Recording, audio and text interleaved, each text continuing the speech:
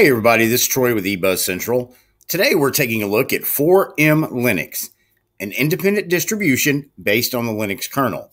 But before we get started, please don't forget to like, subscribe, or follow my channel. Doesn't cost anything, and if you end up not liking me, you can always unsubscribe.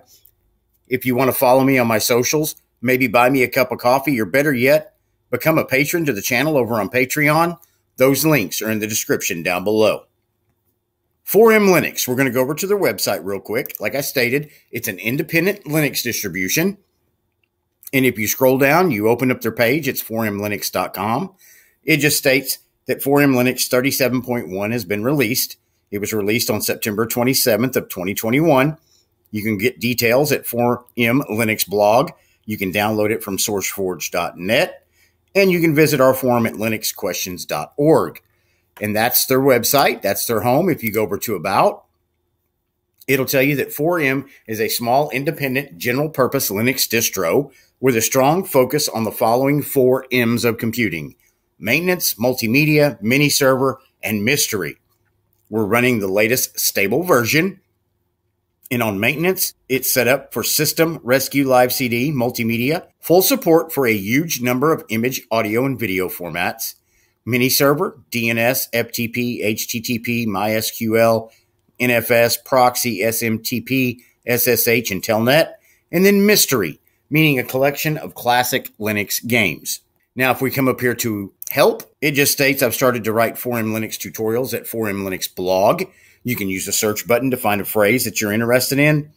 And then you've got 4M Linux help files, help stable, help beta, FAQ stable beta, and license. And new 4M Linux users should start with reading these guides. 4M Linux login, installing 4M Linux, 4M Linux desktop, and 4M Linux server. And then, of course, you can go to download and it says make a donation with PayPal. After the payment, you will be redirected to the download page. Or you can just come down here to the alternate site, which is www.sf.net.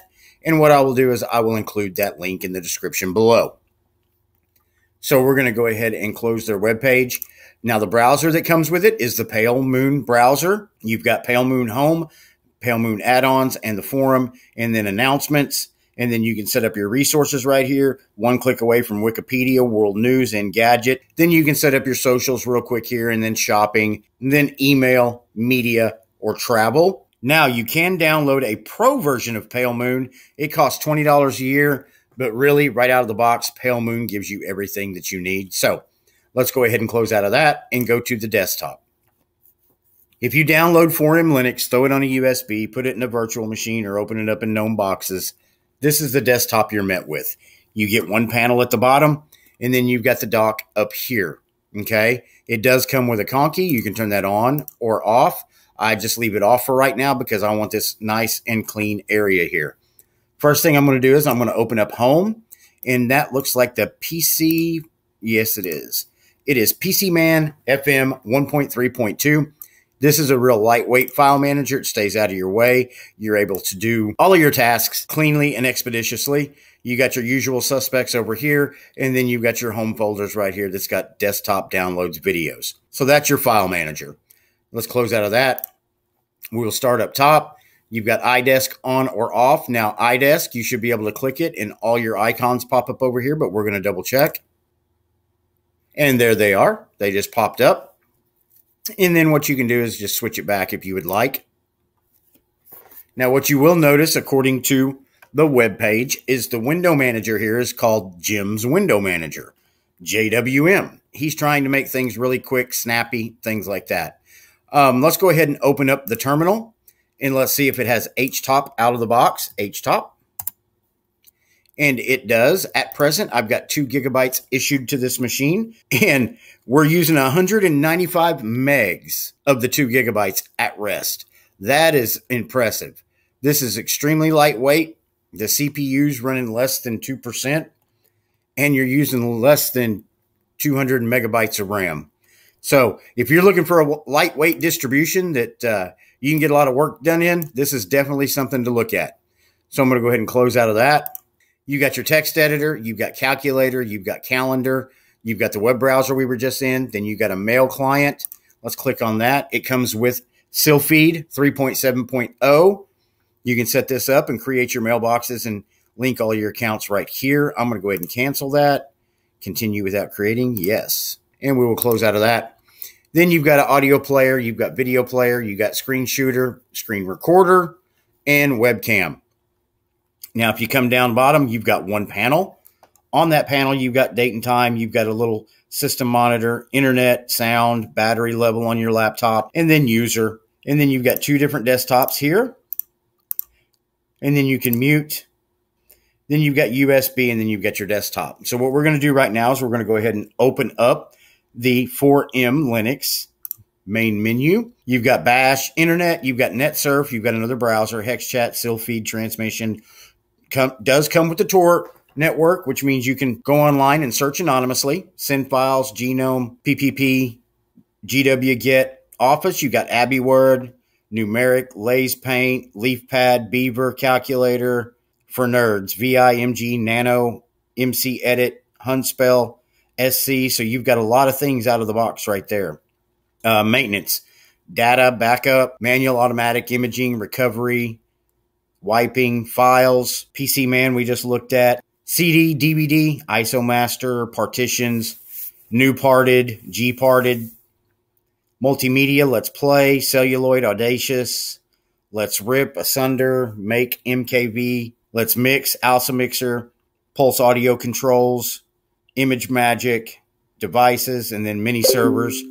You can set up your settings on your mini servers, firewall, FTP, HTTP, miscellaneous tools, links, graphic user interface. Boy, there's a lot of tools in here. Mystery console. Okay, so these you got games, Pac-Man, Pong, Penguins, emulators, Fuse, DOSBox, Wine, Java, extensions. You got Office, you got LibreOffice, GIMP, Inkscape, Vim, and GVim.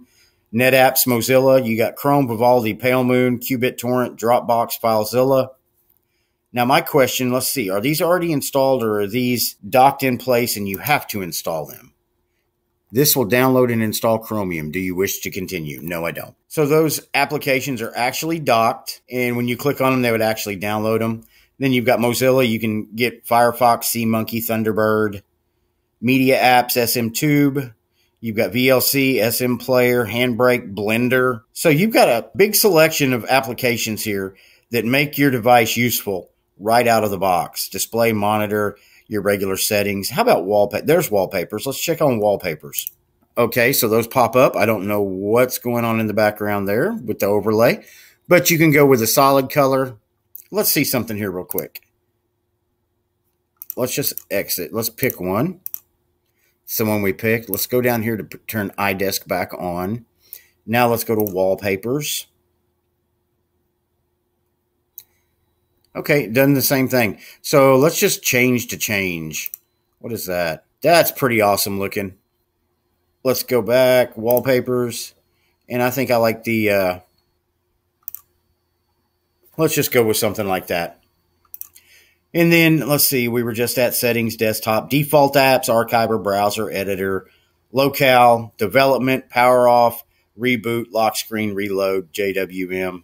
Jim's Window Manager, or Exit JWM. It's a very lightweight distribution. It's very snappy. That's 4M Linux. Tell me what you think about it.